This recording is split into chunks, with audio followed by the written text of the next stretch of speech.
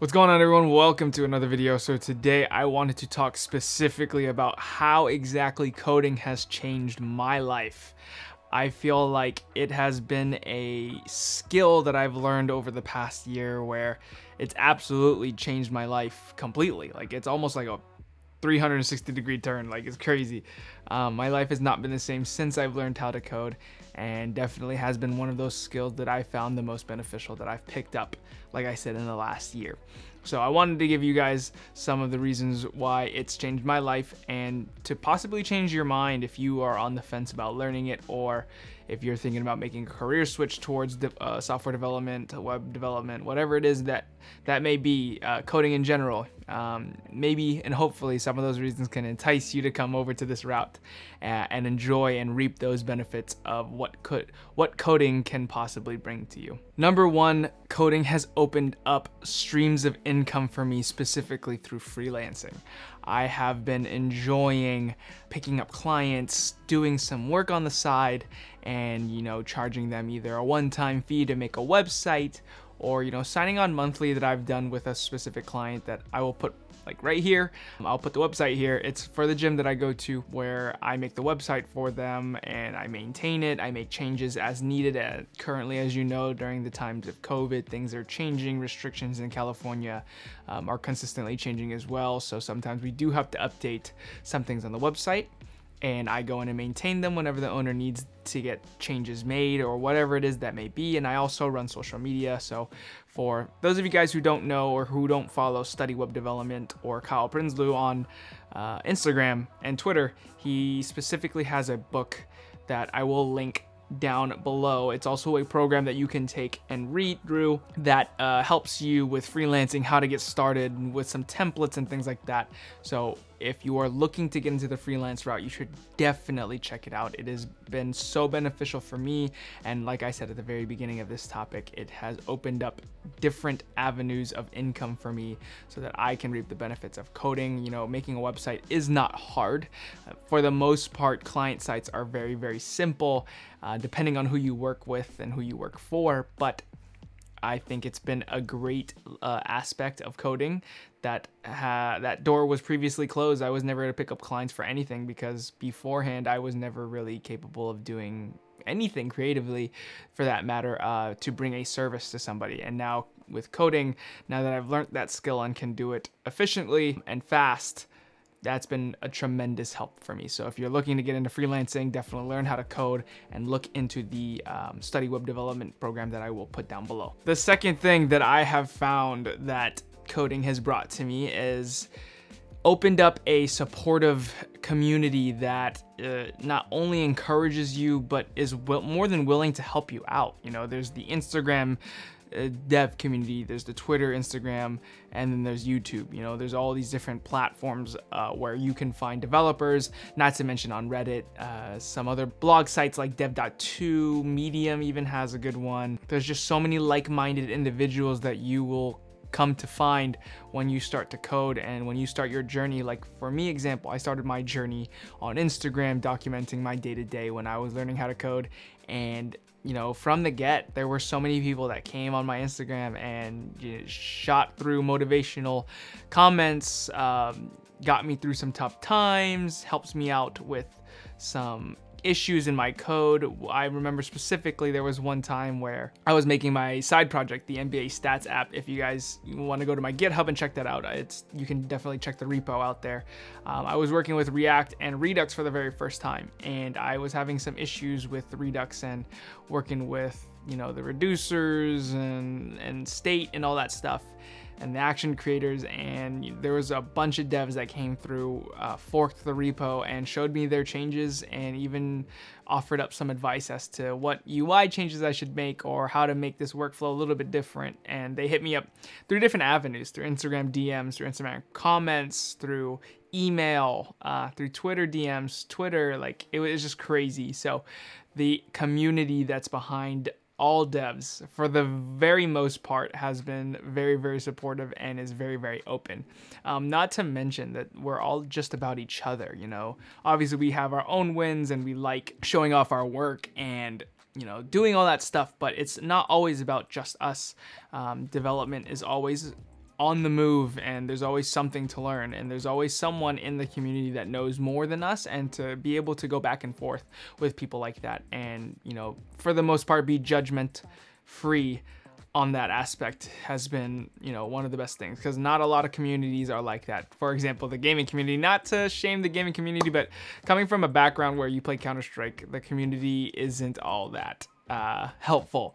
Uh, they can get pretty toxic. So to come to a community that isn't toxic for the most part, even when there's toxic people, I feel like most of the community gets behind your back and supports you anyway. So to have that open up in my life has definitely changed it for the better. The third thing that coding has done for me has given me opportunities to build products or websites for people, myself, you know, whatever it is, I, I'm able to offer a service which goes off the back of point number one was freelancing, right? Like you are now able to build something that you want to build, whether that be a website, whether that be a actual product that you can use. For example, I recently built a barbell weight calculator that you can use as a web app and it solved an issue that I had in the gym and you know people that I actually know would use it. So there, it just solves the problem, right? And I was able to do that with just a little bit of code.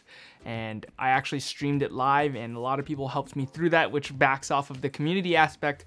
People just jumped on my stream and without shaming me whenever I got stuck on an issue or something like that, they were actually more than willing to help me, which was awesome. You know, they were just in the chat saying, hey, you should do this, hey, you should do that.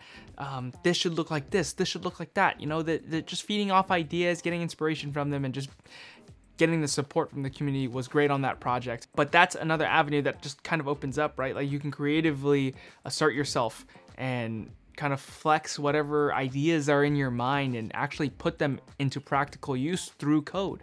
You know, building that website you've always wanted to build for your friend, building that website for the business that you have, building that website for uh, clients that you potentially find, or making web apps that solve an issue that you've been having, whether that be through finances, um, an invoice uh, system, uh, inventory, whatever it is, right? Like the possibilities that code brings are endless as far as solutions. So that's one another aspect that code has definitely done for me that I've thoroughly enjoyed because I've had so many ideas that I want to have build and I wouldn't have been able to do that had it not been for me actually learning how to code. The fourth thing that I actually really, really do enjoy about coding is it allows me to be location independent. And what do I mean by that? Location independence, if you guys don't know, means that you can literally work wherever you want to. So for example, the client website, I was able to work on that thing before COVID, you know, in coffee shops, at friends' houses, in in their kitchens, their living rooms, my my room, my kitchen, you know, like I don't need to be stuck to an office. I don't need to be stuck in a cubicle to do this work. I can be wherever I want to in the world. Obviously not at this time, but if you know, everything opens up, you're able to travel now. You're able to be location independent and you don't need to worry about where you are as long as you have a computer and as long as you have an internet connection you are able to do the work. So if you're a freelancer and you have multiple clients, uh, yes, it'd be great if the clients were local and in person, but it's not like you can't email them or you can't get a, get on a Zoom meeting with them to discuss things that you need to get done on a website or whatever product that you're working for them you can be your client can be in California and you can be out in Tennessee and you can still get the job done. You know, granted if Tennessee is where you want to be, you know, for me I would be in Thailand right now. I would be living in Thailand doing the work that I do now, creating videos on code, coding for clients. Whatever it is, code allows you to be wherever you want to be so long as you have two things, a computer and an internet connection. Actually maybe three and the will to you know want to code. If you have that third aspect for sure then you know the location independence is what definitely brings a lot of people to code which is probably one of the most beneficial things for me at least because i don't like being stuck to a desk all the time. I love to be around. I like to work in different areas and to be able to bring my work not even just at a different location but with different devices right? I can work off my laptop. I can work off of a desktop if I get a new laptop, I'm doing it on there too. I can just clone my repos and get to work from there, right? Like it's it's it's an amazing ecosystem and business to be in with code and that aspect in itself has changed my life and has definitely made me a lot more happy not being in a cubicle doing the work that I want to be doing. The fifth and final thing that I will get into right now is probably a big one for me, and this isn't a physical benefit by any means.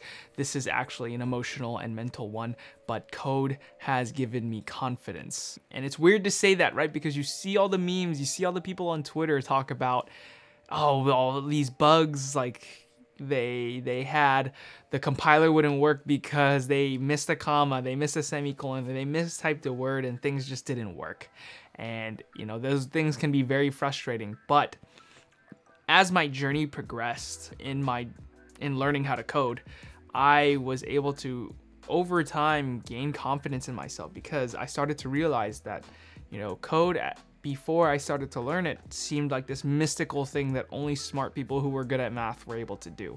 Now, knowing that I can code, I was never good at math. I dropped out of college.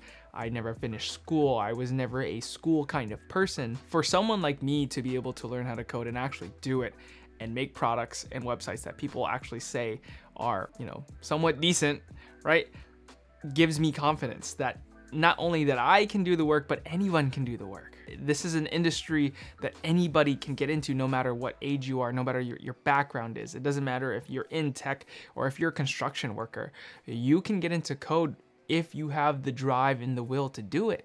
And for me personally, it's improved my self-esteem. It's improved my confidence. No matter how many bugs or issues that frustrate me throughout the journey, that's that's part of the process, right? Like overcoming those obstacles is what gives me confidence because then I know that I can actually overcome those and be a better developer every single day. You know, every hour I take to learn how to code, I learn something new. That's something in my repertoire that I add that just gives me this weird stimulus of I feel of, of feeling good about myself. You know, I learned something today.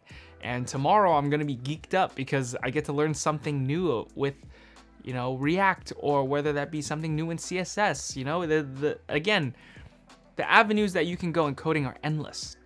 Front end, back end, data science, uh, machine learning, AI, whatever it is, like you, you're, there's always something learn new to learn and that's exciting to me. It gives me confidence. It boosts my mental every time i learn something new and some and whenever i achieve something it's it just it gives me a feel good moment. Those are just some of the things that you know coding has done to, that changes my life completely and hopefully some of those things can entice you if you are on the fence of learning how to code. Just do it um, the opportunities it opens up, all the doors that were previously not there that now are available to you to open up. Uh, become available when you learn how to code. So if you're looking to make a career switch to it and you were kind of on the fence, hopefully some of those tips, not tips, hopefully some of those aspects in my life that have changed entice you and change your mind to learn how to code. But that's going to be it for me. If you guys have enjoyed this video and, and